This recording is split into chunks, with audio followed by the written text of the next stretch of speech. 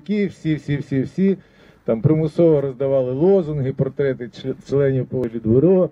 Я сам був майстром і мене примушували теж зганяти своїх роботяг. От. Ну, правда, я давав за це ще 10 е, рублей е, е, премію місячну і відгул. От. Ну, аналогічно і тотожно діяв Янукович, як старий ярий комуніст зек. Е, Так же діє і е, пан Порошенко. Рознарядочки людей з заводів, фабрик, е, з шахт, рудників, е, значить, гонять на Київ. От, Тобто можна сказати, що справа Януковича Порошенка живе, але не перемагає явно. В зв'язку з цим е, звертаюся до, до е, різних верств населення міста, нашого рідного міста Києва. Е, У вас, значить, ну, по-перше, звертаюсь до власників торгових мереж і власників ларків. У вас в неділю буде гарний виторг, тому що люди явно приїдуть там 5 хвилин постоять, потім розбіжуться по ларьках е, пити пиво, там цигарки і таке інше. Е, До простих киян звертаюся. Е, Ну, прийдете, якщо на цей мітинг, не забудьте людей у військовій формі спитати, чи не знаходяться вони в самоволки. От. Якщо ж вони будуть казати, що вони відпустці, ну можете так чемно попросити їх показати відпускну е, записку, який е, кожен військовослужбовець повинен носити про собі, вдруг там е, ВСП його зупинить. У приїжджих цивільному можете спитати, поцікавитися наявністю квитка на, Ки- на поїзд на Київ. Ну і всім, хто читає Фейсбук, зрозуміло, що насправді е, чинна влада, як і, попередня, е, завозить е, до Києва тітушек на антимайдан. Хто в це не вірить, ну завтра перевірить. Тільки пам'ятайте, що всіх, кого влада привозить в Київ, це ви вже сьогодні кріпаки. Тільки поки ваша панщина це поїздка по команді на два чи три чи на один день у Київ. А далі панщина ваша буде набагато гірше. Звертаюсь також до перевізників. Ну, в першу чергу е, до Укрзалізниці, бо е, незабаром прийде час, і ми якби спитаємо керівників Укрзалізниці, е, а за чий рахунок вони возили тітушню, скажімо так, на довгій відстані. Спитаємо і власників автобусів, як з ними е, голови місцевих е, адміністрацій е, обіцяли розрахуватися, чи продовженням ліцензії на транспортні перевезення, чи валізою з грошима, чи якось іншим чином. Також відмітимо, що справжніх поціновувачів життя по-новому до до них у нас якби питань немає, бо ми поважаємо право людей на е, мирне зібрання. Тільки бажано, щоб ці е, рядові, е, е, ну, рядові е, відвідувачі мітингу якби вийшли на трибуну і розказали, як, е, як їм стало жити гарно, е, гарніше, ще гарніше по-новому. Е, І наостанок хочу побажати мітингарям доброго здоров'я і гарних вражень від е, екскурсій по Києву.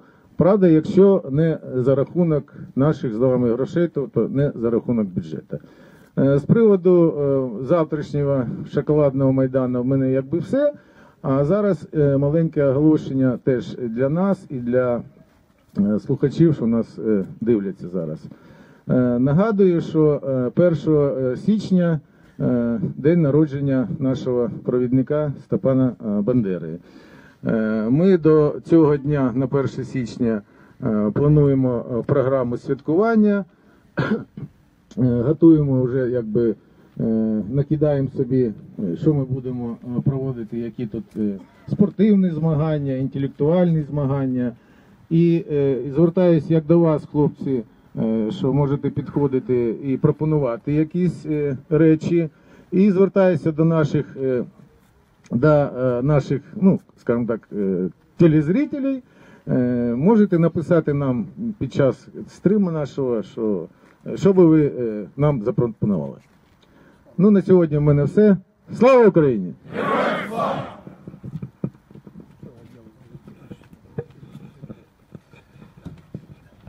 Всім добрий вечір.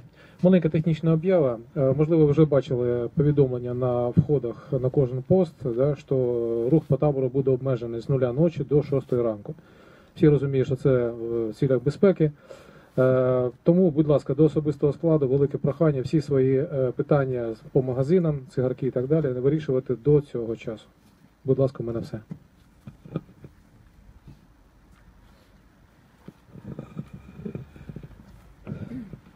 Друзі, е, рух визволення зробив свою заяву відносно завтрашніх акцій. Ми поважаємо право на мирне зібрання любих громадян України, якщо ці зібрання не супроводжуються порушенням громадського порядку. Ми не будемо в них приймати участь. Поэтому, якщо там будуть з'являтися якісь групи людей, це не до нас. Це ми надіємося на правоохоронців, що вони забезпечать безпеку людям, щоб все у них прошло, як вони хотіли. Е, Я думаю, что то обурение, которое было в социальных мережах, это я уже лично, как человек хочу сказать, как гражданин, э, это такая маленькая-маленькая часть того реального непонимания и обурения людей, которое было в свое время на нас только в виде лайна и дерьма. Никто из нас не позволял оскорбителей поставить под питание, воевал тот или иной человек, который называет себя участником, а то или нет. А с другой стороны, я слышал заявление, что тут никто не воевал, что тут бандиты, что тут люди за деньги, Курченко, э, По- Порошенко, а, Олейник и прочее, прочее. Я видел в комментариях, когда хлопцы, инвалиды войны, например, вот у нас есть такой Святослав Иванов, человек, который потерял руку под Широкиным, задает другого, ну, по его словам, ветерана, вопрос, а что ты делаешь там? А он ему говорил, что ты случайно в тебя мина прилетела, вы заблудились, вы там псевдовоины, либо на нашего Богдана Пташника, который в мае 14-го с Волыни, будучи журналистом, взагалі не військовым, поехал до лав батальона Донбасс, был ранен в первом же бою под Карловкой, сейчас до сих пор инвалид, причем он не просто ветеран, он человек, который все эти годы волонтерил, и один из первых приехал на блокаду торговли с оккупантами, его там вообще назвали в комментариях какой-то российской ватой. Я считаю, что опускаться до повторения ярлыков, которые вешает вот эти мрази из Банковой, которые один к одному с Путиным, на других воевавших людей, для ветеранов войны недопустимо. Если кто-то хочет выйти и выразить поддержку существующей власти, это их право. Я единственное, как человек, я поважаю это право. Я не могу понять, почему они все это скрывают. Есть там кава на Крещатику, есть без кавы, есть просто встреча без Рошена, есть информация с разных мест о том, что везут людей. Не осуждаю, но не понимаю. Я не понимаю, почему там будут обсуждаться вопросы о том, как плохо, что митингуют Саакашвили, Семенченко, Соболев, и не будут обсуждаться вопросы. Почему, например, представителем Порошенко на минских переговорах является Виктор Медведчук, который два дня назад заявил, что он гордится тем, что является другом Путина.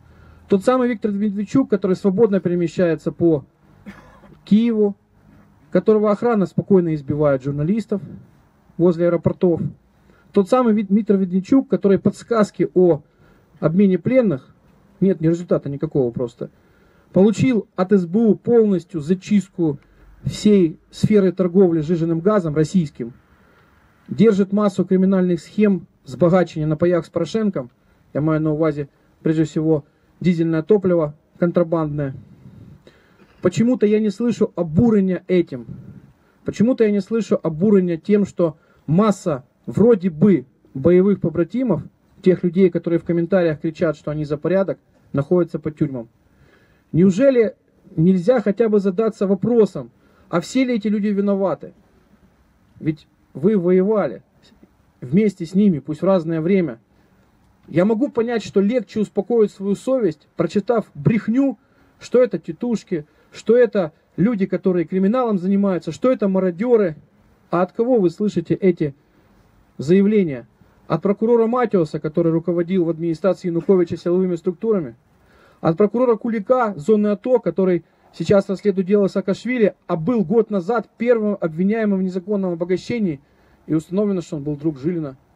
Я почему-то не слышу вопросов и претензий к тому, что вчера отпустили Крысина, который мало того, что убил журналиста, гранатой остановил машину на Майдане, потом забили битами его с горловки. Так еще оказывается, что он использовался для этого несколько раз, неоднократно был судим, и его выпускают, дав условно, потому что он раскаялся. Почему-то никто не задает вопросы, а почему до этого отпустили лидера так званого Юго-Запада, Юго-Западного фронта, человека, который в Харькове поднимал знамя русского мира в 2014 году. И он вышел, я уже рассказывал, да и все вы знаете со словами, что Украм смерть. Почему до этого отпустили тех людей, которые в Одессе поднимали Сепарское восстание в 2014 году?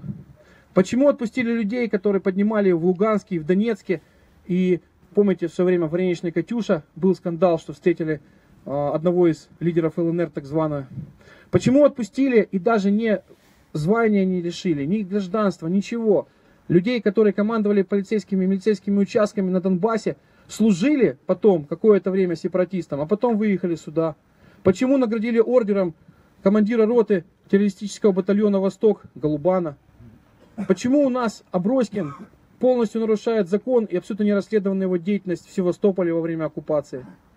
Почему у нас в Винницком ОВД командовал человек, которого даже наша СБУ после этого официально обвинила в государственной измене, арестовала на выезде в Беларусь, его случайно вскрыл автомайдан Винницкий, насколько я помню. А потом по нему дело прекращается, он нормально умничает в комментариях. Почему чуть судья Чаус, который э, сбежал в свое время э, за границу и известен как, как хозяин литровой, трехлитровой банки долларов, сейчас умничает, когда же нас разгонят. Я не понимаю, почему не задаются вопросом, а где суд по небесной сотне, и почему каждым отпущенным убийцей, тетушкой, российским пособникам постоянно дают сигналы новому Беркуту, новым тетушкам, новым террористам. Делайте то, что вам сказали, выполняйте любые приказы, а мы вас прикроем. Почему-то никто не задается вопросом, а почему у нас с призовом проблемы, с контрактом? Хотя в прямом эфире прокуроры, имеющие полный доступ к эфирам, рассказывают, смакуя, как якобы украинские добровольцы насилуют, убивают, мародерят. А почему куча волонтеров рассказывает о том, что они все это знают, и видели, и подтверждают, и тоже им дают для этого всего эфиры? Почему с 2015 года в два с половиной раза выросли инвестиции России в нашу экономику. Почему никто не спрашивает, если санкции есть США против окружения Путина, а такой же человек из окружения, миллиардер Бабаков, до сих пор владеет облэнерго на Херсонщине и прилегающих областях. Почему у нас Ахметов, его э, вы выросли э, богатство за это время несколько раз? Почему Порошенко заработал миллиард? Почему у нас из страны не просто люди бегут, а уже принимают все это характер эвакуации. Почему те, кто ворует топливо, идут в армии, э, те, кто э, на миллионы долларов, на сотни миллионов их ловят на БУ, до сих пор за них приходят військовые из генштабу в суд митинговать. Почему авторы, почему военные не идут требовать суда по Иловайску и Дебальцеву? Кто бы там не был виноват, люди должны об этом знать. Почему не спрашивают а тарифы у нас с неба свалились? Или может существует такое понятие Роттердам плюс, когда мы больше года верим в то, что мы платим больше, потому что уголь для этого выработки электроэнергии завозят с Роттердама, чтобы не покупать на оккупированных территориях, а все это время оно закупается на оккупированных территориях, долю принося Плотницкому Захарченко, долю принося Порошенко и Ахметову. Почему никто не спрашивает, почему до сих пор Константинов и Аксенов, так званые лидеры так званой российской оккупационной власти в Крыму до сих пор граждане Украины. У нас тоже тогда очень много вопросов. А за одну ли страну мы все воевали? Поэтому я уважаю право каждого человека собираться и митинговать. Я уважаю и не буду ставить под сомнение, не буду уподобляться многим. А воевали ли эти люди и как они воевали? Я априори считаю, что все они герои. Но я не понимаю, почему все вопросы только о шатании будки. И почему нет ни одного вопроса о том, а нужна ли нам эта будка, а то ли мы строим. Я не выходил на Майдан и не воевал за Малороссию. И мои товарищи за Малороссию не воевали. И за миллиардные э, доходы Порошенко они не воевали. Поэтому давайте честно признаем, мы юридически граждане одной страны, но воевали за страны разные. Я за Украину, мои побратимы за Украину, те люди, которые мы познакомились здесь за Украину. Никого не надо оскорблять, никого не надо осуждать, но я думаю, что вопросы каждый сам себе человек должен задать. Потому что одно дело питаться пережеванной всякими мразями информационной жвачкой, которые врут и забивают головы всякой мурой. А другое дело жить в реальной стране, видеть постоянно, что происходит, и не задавать себе ни одного вопроса. Завтра занимаемся своими делами. У нас сегодня э, попросили помощи громадской организации Ассоциация дружины матерей и бойцов АТО. Это организация, которая занимается помощью семьям погибших, раненых воинов. Сегодня у нас хочу поблагодарить нашего товарища, побратима позывной «Медведь» за то, что он поехал сегодня и доблестно выступил в качестве Деда Мороза на детском празднике для детей и бойцов. А есть медведь у нас? Отдыхает. Друзья, я так понимаю, что Санта наш устал. Давайте ему поаплодируем.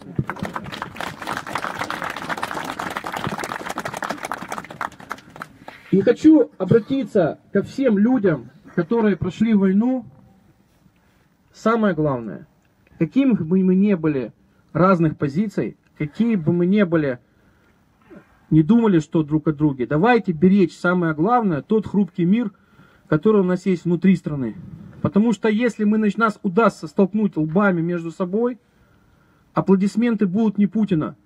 На галерке будет хор аплодисментов из Путина, Порошенко, Ахметова, Медведчука, всех людей, которые рады, когда люди напуганы, рады, когда хаос, когда люди нищают, потому что в мутном омуте лучше ловить рыбу. А они, судя по всему, для них это основная задача. Самозбагачення, самозбереження на цих посадах. Останнє. А чего мы требуем? Давайте вспомним. Мы пришли сюда для того, 17 октября для того, чтобы сказать, беспредел в стране должен прекратиться, Беспредельщики должны получить по заслугам, и у нас в конце концов должна начать строиться нормальная держава, где закон один для всех. И мы высказали первые несколько шагов, которые должны нас к этому привести. Первые шаги. Антикоррупционный суд, чтобы Ахиндовские, Насировы, э, Розенблаты, те люди, которые разворовывают армию, депутаты, министры, когда им предъявляют обвинения. Они не учили нас жизни через год или через два, смеясь по телевизору, а садились в тюрьму с конфискацией. И для этого у нас должен быть не подконтрольный суд из старых судей, которых полностью все схвачено, а сделать суд новый, из новых людей под контролем и общественности, и наших друзей, которые у нас есть на Западе, из антикоррупционных активистов. Сегодня, кстати, вчера, прошу прощения, Порошенко внес, наконец-таки, законопроект про антикоррупционный суд, это очень маленькая победа, очень маленькая. Мы еще даже текст не видели. Еще у нас будет дурить, пытаться своих судей провести. Обмануть, сказать, что 2019 года это начинается. Самое главное, кабан бежит по правильному пути. Продолжаем охоту, гоним дальше. И мы имеем право так говорить, потому что это не цари, это не короли, это люди, за которых мы голосовали, и они должны за нас отвечать а должны отвечать за свои действия. Второе. Закон новый про выборы. Для многих это непонятно, но это та вещь, которая запретит телевизионную рекламу и не будет засевания баблом на телеэфирах, а будет ходить ножками и пояснять людям по дворам, голосовать за них или нет. Это можно из списка выбирать людей и голосовать за них. Там есть масса нюансов. Это смена ЦВК прежде всего. Потому что сидит Ахиндовский, у которого закончились давно полномочия, на которого уже пробу негде ставить, потому что по нему куча обвинений в получении бабла еще партии регионов, а тут еще Петро Алексеевич Золотой дождь ему организовал, а он собирается опять рассказывать, кто у нас будет президентом, кто у нас будет парламентариями. А куча несведомых людей во главе с платными мудаками говорят, а вы не бунтуйте, вы на выборы приходите. К дяде Ахіндовському, тот вам подрахует, все дуже добре. Так Підрахуй, помните предыдущий где? Он же в парламенте, с ним ничего не случилось. И третье, это снятие неприкосновенности с депутатов. Не решаются проблемы этим, я понимаю. Но скажите мне, пожалуйста, надо с чего-то начинать, надо начинать будить народ, надо организовывать людей, иначе нас тут останется пару миллионов, 500 тысяч господ и полтора миллиона людей, которые в крепаках. Вопрос. А скажите, пожалуйста, это что, Путину нужно эти требования? Эти требования ядерную бомбу кидают на страну. Эти требования в свое время все обещали, вот эти вот самые депутаты всех созывов. Юра Луценко, брызгая слюной, еще в 2005 году кричал с ними неприкосновенность. Если все это план Путина, то выбачьте, Петр Алексеевич, выбачьте, Луценко, так вы, оказывается, план Путина реализовали, когда шли до влады. Мы же не знали.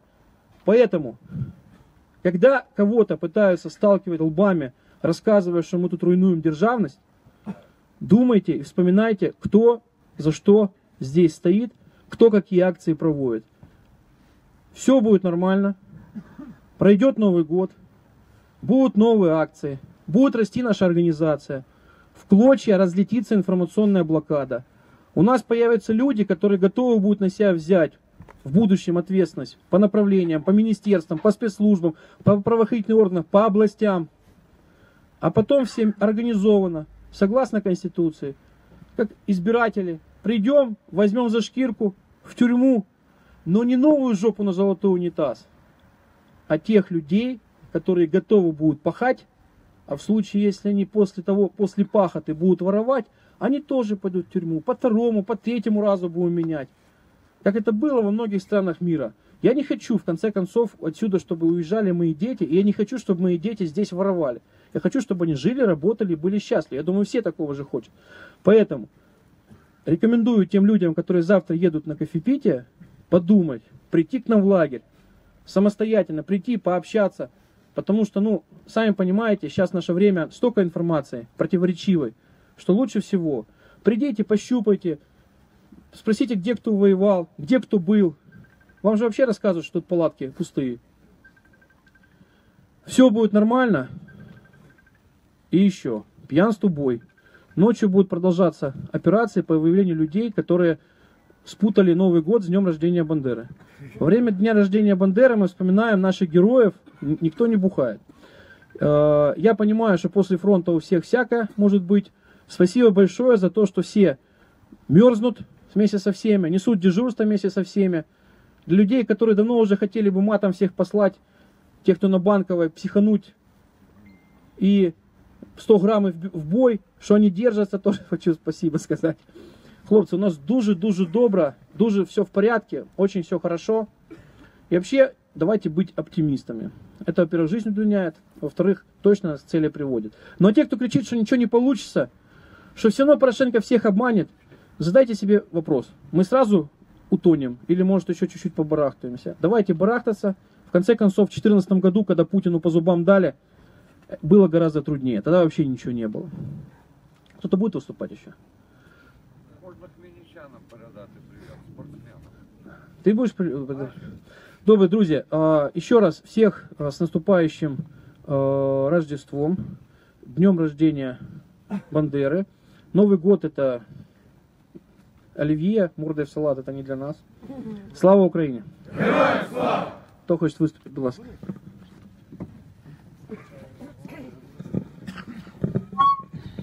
Добрий вечір, шановні побратими. Звати мене Орес, вже всі багато мене знають. Сьогодні поступила інформація з моєї а, маленької батьківщини з Хмельницької області. Кам'янець-Подільські спортшколи зараз грузять автобуси спортсменами, які їдуть в Київ, неясно чого, не розуміючи. Восьмий полк спецпризначення міста Хмельницький, 35 чоловік, довго собирали цілий тиждень, але насобирали героїв в медалях і так далі. Там дуже багато порядних людей. Я з цим полком сталкувався по домашнім справам адміністрацій знаю, але також вони їдуть подивитися, хто тут є. О, то я хочу передати дуже великий привіт. Я сьогодні написав о, в о, коментарях, що хлопці, ну якось щоб розчитати БК, скільки вас там їде, тому що ніхто здаватися не збирається. Багато камінчан знають мене, знаю я хлопців, знаю спортшколи. То якщо хочуть їхати, є там пару лічностей, яких я обов'язково навідуюся знов Кам'янець-Подільськ своїми побратимами, спитаємося, хто прислав сюди тітушню. Тобто, хлопці, якщо ви зараз хтось дивитеся мене і хто знає мене, мені все-таки 53 роки вже. Ну, багато моїх однокурсників. Є в мене пару тут о, депутатів, народних депутатів, однокурсників, от, розуміючих, до чого я підвожу. От, щоб не плакали ваші жінки вдома.